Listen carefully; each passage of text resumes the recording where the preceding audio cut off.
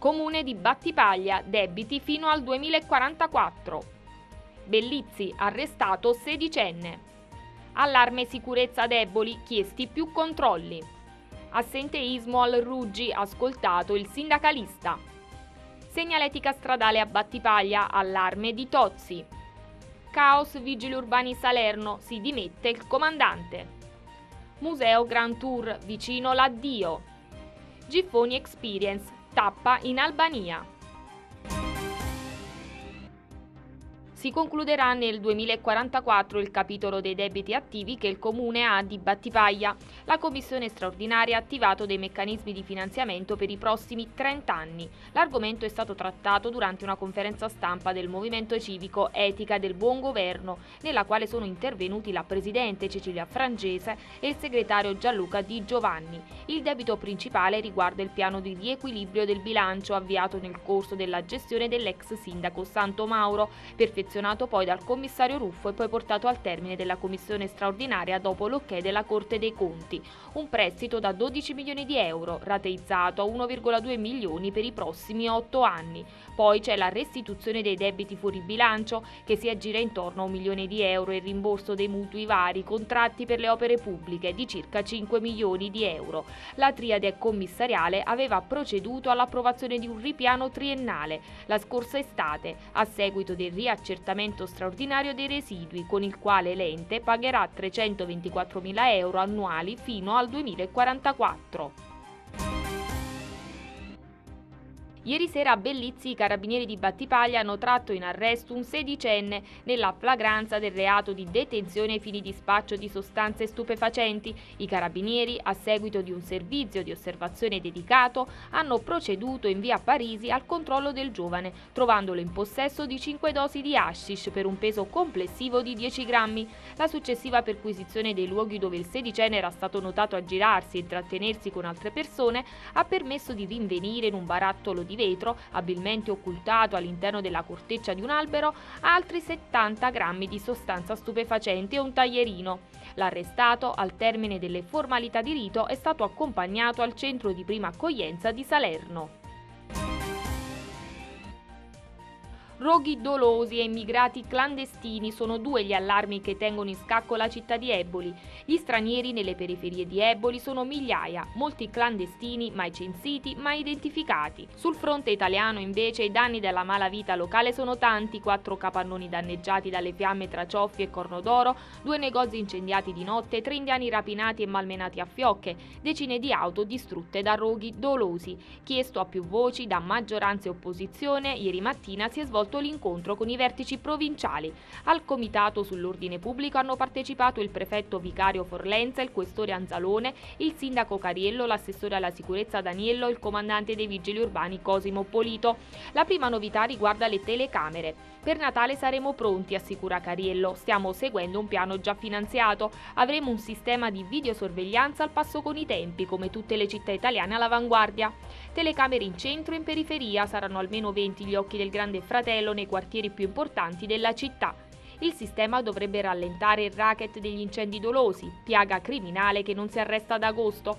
La convocazione del comitato era stata auspicata da Pasquale Infante, esponente politico di Santa Cecilia, che ha raccolto le ansie degli imprenditori di Cioffi e Cornodoro, dove si sono succeduti gli incendi negli ultimi quattro mesi. Abbiamo chiesto e ottenuto più forze dell'ordine per migliorare prevenzione e repressione dei reati, ha spiegato Cariello.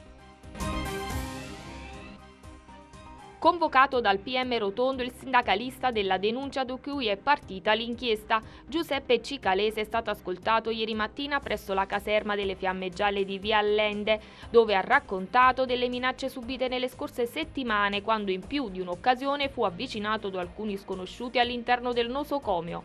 Un colloquio durato poco meno di un'ora, durante il quale il sindacalista della CISL ha ribadito al PM le sue preoccupazioni per possibili ritorsioni timori aumentati all'indomani della conferma della sospensione per un anno da parte del Tribunale del riesame per sei dei sette fannulloni che ne avevano presentato richieste soprattutto dopo le dichiarazioni di qualche settimana fa del ministro della pubblica istruzione Marianna Madia che invocò il licenziamento per gli statali furbetti del cartellino. Il rischio è legato a possibili colpi di testa da parte di qualche persona coinvolta. Si teme che si possa passare passare dalle parole ai fatti.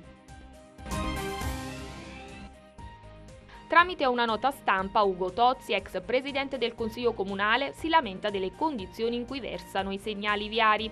A Battipaglia, spiega Tozzi, c'è assoluta carenza di segnaletica orizzontale e verticale. Sono servizi elementari che mancano al cittadino e su cui bisogna necessariamente intervenire. Un allarme che è chiaro segnale di una penuria ravvisata nel territorio cittadino. Mancano uomini e mezzi, denuncia il medico, per comprare la pittura, la punta del trapano o il semplice palo, ragion per cui il comune dovrebbe reperire i fondi necessari e procedere all'installazione della segnaletica orizzontale e verticale laddove carente. Anna Bellobuono si è dimessa da comandante dei vigili urbani del comune di Salerno. Le dimissioni sono state protocollate questa mattina. Alla base della scelta motivi essenzialmente personali dettati dalla decisione dell'amministrazione di affiancare nella trattativa con i rappresentanti sindacali dei vigili urbani l'ex dirigente Luigi della Greca. La Bellobuono si sarebbe quindi sentita scavalcata nel suo ruolo e da qui la decisione di non ricoprire più l'incarico. Vale la pena ricordare che la comandante era stata assunta da dal comune di Salerno da pochi mesi a seguito del concorso indetto dall'amministrazione, in atto contatti per far retrocedere la stessa dalla sua decisione. Il museo di Pessum nei percorsi del Grand Tour rischia di dover lasciare il comune della Piana del Sele. Continua infatti la telenovela legata alla necessità di trovare una nuova sede per l'esposizione, dopo lo sfratto dal convento dei frati minori. Il problema sembrava risolto grazie all'approvazione di una delibera della giunta comunale con la quale veniva concesso incomodato gratuito Palazzo Bellelli. La decisione però ha innescato non poche polemiche. Ad alzare i toni sono stato il comitato 15 giugno che ha accusato il sindaco Vozza di favorire i privati e l'associazione Agora dei Liberi che da dieci anni occupa i locali di Piazza Orologio. Proprio quest'ultima, tramite la presidente Antonia Franco, ha precisato che per continuare a svolgere in maniera adeguata e efficace le finalità sociali e per collocare il materiale, persiste la necessità di dover continuare a usufruire degli spazi fino ad ora utilizzati. Non è mancata la replica da parte del museo con la direttrice Daniela Di Bartolomeo, che ha ricordato ai contestatori che in cambio del sacrificio per il trasferimento era stata anche offerta alle associazioni del territorio l'opportunità di continuare ad usufruire dell'atrio, della sala conferenze e del giardino di Palazzo Belelli. A questo punto il rischio dell'addio al museo prende corpo, se è vero che non esistono sul territorio comunale altri locali adeguati per ospitare il museo sfrattato. il Giffoni Experience è sbarcato in Albania per il decimo anno, portando ai giovani albanesi un mese di cinema eventi, con il tipico spirito di coinvolgimento dei ragazzi che Giffoni sa dare. Lo spin-off albanese della rassegna di cinema per ragazzi salernitana diventa da quest'anno itinerante e toccherà sei città del paese, come annunciato dal direttore di Giffoni Experience Claudio Gubitosi. 12 film accompagneranno i giovani in questo percorso di ricordi. Il meglio di Giffoni degli ultimi anni verrà proposto al pubblico albanese che si preannuncia numeroso, tante le novità che coinvolgeranno i giovani, come le riprese di Tirana fatte dal drone per mostrare ai giovani albanesi la loro capitale da un punto di vista diverso.